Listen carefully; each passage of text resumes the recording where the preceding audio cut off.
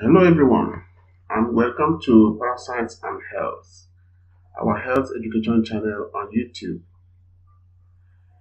Having taught parasitology for more than two decades to both undergraduate and postgraduate level, I have realized the need to put my experiences together in video format such that my students, past, present, and future, can have something to fall back on.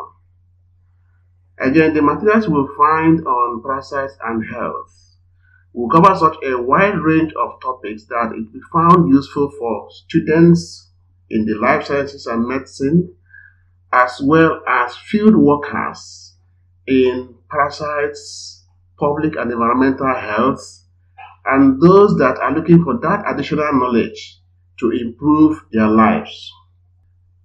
Talking about parasite, the entire concept of parasitism arose as a result of a relationship between two organisms. One is a parasite, the other one is the host. And by some kind of natural arrangement or co-evolution, it is meant that the parasite must depend on the host at some point in its life cycle, either completely or partially. And so as a result of that, it means that the activities of the parasite must affect the host in some way. So, a parasite that lives in a host does not have the intention of killing the host because if the host dies, it also dies.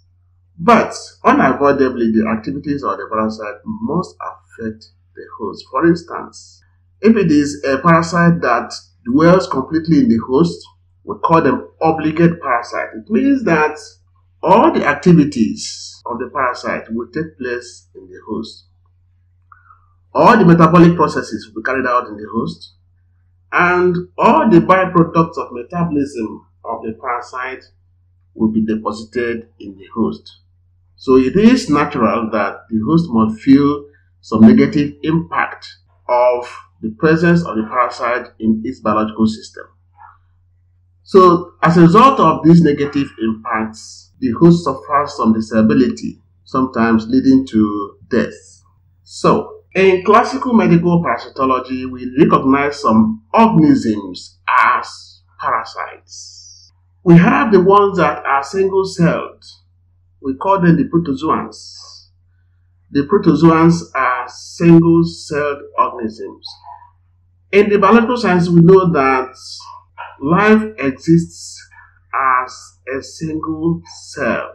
And so the cell becomes the unit of life. So, as a single cell, life can express its completeness. And so there are parasites that exist just as a single cell.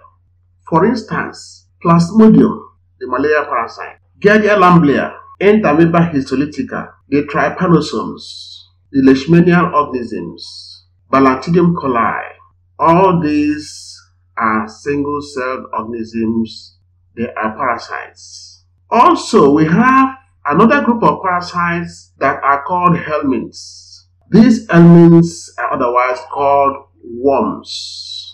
So, under this, we have two broad categories.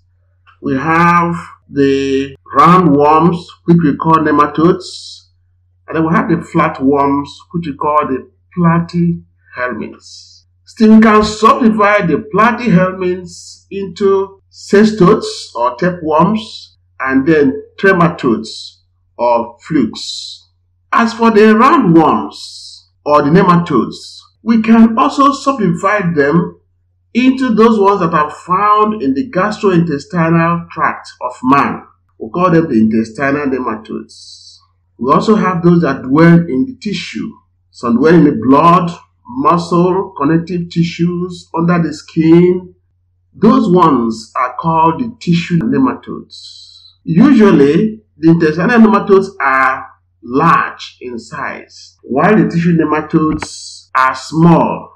We're going to delve into their biology and medical importance, and in this, we'll now be able to discover the real differences, the way they cause diseases, the way they affect man, because at the end of the day, you find that the activities of these parasites impact so much on man and his lifestyle. And you see that because of the complex interaction between the organisms, man, and his environment, humans suffer, animals suffer, the environment suffers. So, we talk about the platyhelminths or the tapeworms. Already I've told you that we have the trematodes or the flukes, and then we have the cestodes or the tapeworms. These are all parasites that are found in man. We will talk about them in greater details. We also have arthropods that play a role and affect man's health in a negative way. Now, a study of these arthropods that either on their own are parasites or they play an active role in parasite transmission to animal and human hosts. They are called vectors. Now, among these vectors, some are insects, others are crustaceans, others are arachnids, and so their study constitutes what is known as entomology, the study of these vectors that either on their own are parasites or coexist with other parasites or transmit these parasites from host to host. Now, apart from the insects, we still have yet another group of organisms or other groups that are also parasites. We can classify them as microparasites. Amongst these are the viruses, the bacteria, and then fungal organisms. Among the viruses, they cause diseases like yellow fever, West Nile virus fever, chikungunya fever, and a whole lot of other viral infections. Of course, including the novel COVID 19. We also have bacterial organisms that cause bacterial diseases. Example, Salmonella species that cause the typhoid fevers. We also have Mycobacterium, those that cause leprosy, Mycobacterium leprae, or tuberculosis, Mycobacterium tuberculosis. And of course, we also have those that cause fungal diseases. So, this is a rundown of the classes of parasites that we're going to come across in the course of this study. We'll look at their role in man's affairs, how they affect man, how they affect his welfare, how they affect the environment because it is the activities of these parasites that bring about environmental degradation. Now, we'll also look at aspects of control of these parasites in the course of our series of lectures. We'll study how we can control these parasites, the approaches to getting them, either getting them under control or eliminating them entirely. For instance, we can use medication to suppress the parasites or to eliminate them from man's system. Or we can also use medication to prevent these parasites from invading man's organs or causing diseases. And when we so do, we call it chemoprophylaxis, that is using chemical substances to suppress or to prevent the invasion by parasites. Or we can use health education. We are going to dwell a lot on health education in the course of these lectures. Health education means equipping people with the knowledge of how to either avoid the parasite or eliminating it from their environment.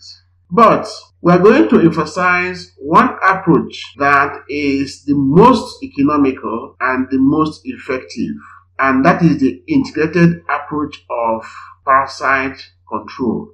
In this integrated approach, we combine chemotherapy, chemoprophylaxis, and health education. As part of health education, we'll be taught of how to take care of our environment, and we call it environmental sanitation because we know that these parasites dwell in the environment, and so when we take care of our environment, we take care of these parasites. So, as you explore our channel, as you enjoy our mm. lectures, please subscribe. And at the end of each lecture, don't fail to strike the bell. We are here to serve you, and we hope that our series of lectures will improve your life, improve your environment, it will improve your health. I want to thank you at this point. Please once again subscribe to our channel and strike the bell. Now we're going to have a comment section. Don't fail to visit our comment section and drop your comments, your views, your impressions, and your questions. We'll be very glad to take them because together we will facilitate and share knowledge. Thank you. I'll see you during the next lecture.